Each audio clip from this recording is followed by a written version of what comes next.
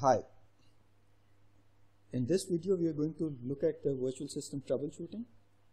Virtual system troubleshooting is, is uh, fairly logical and simple. You just need to follow a few steps and if you follow those steps logically as the way we did the configuration, you should be able to troubleshoot the issues related to virtual systems. The different things that need you need to check are these are pretty much standard things that you need to check for any uh, any device, whether it's physical firewall or it's the logical firewall. For example, check whether the physical status of the inbound and outbound interfaces is up, the interface from which the traffic is coming and the interface through which the traffic is going. Just check whether the interfaces are up or not. Check whether the inbound and outbound interfaces are allocated to the virtual system, appropriate virtual system, whether the routing information is in place. Check whether the interzone security policies and NAT policies are properly configured on the firewall. So these are pretty much the standard configurations or the standard troubleshooting steps that you need to follow for, for any firewall uh, troubleshooting scenario. So they apply on the virtual systems as well, except that you have to check this particular interface allocation or resource allocations to a specific virtual system. So this is the additional thing that you need to check.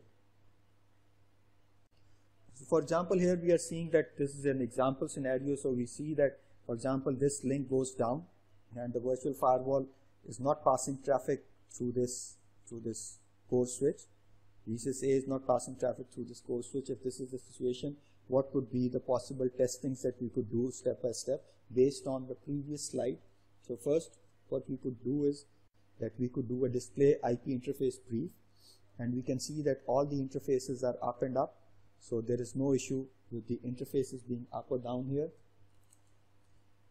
then what we can do is we can see that display vsys verbose which means that we want to look at the virtual system we see that there is vsys a virtual system a it is it has been assigned resource class 0 and these are the interfaces which have been assigned to this which means that the interface assignment is also appropriate. There is no problem with the resource uh, with the interface assignment as well. So this means this step is also properly configured. Then we look at the display IP routing table and we do the display zone. And when we do the display zone, there is a possibility that the virtual interface 0, the interface, virtual interface of the public system that is used to communicate with the virtual systems is not added to a security zone.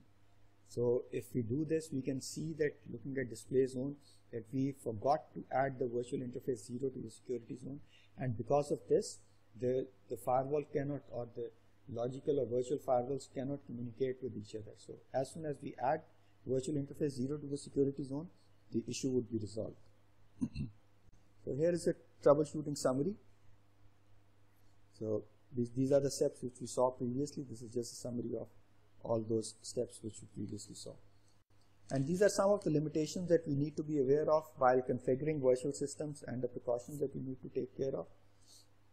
For example, virtual system administrator cannot log into the firewall through the console port.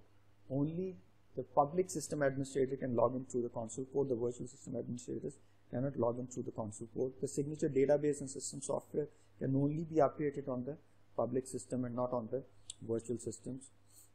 Similarly, for example, uh, configuration management, virtual system administrators can use the web UI or command line interface to check and save the configurations of all managed virtual system.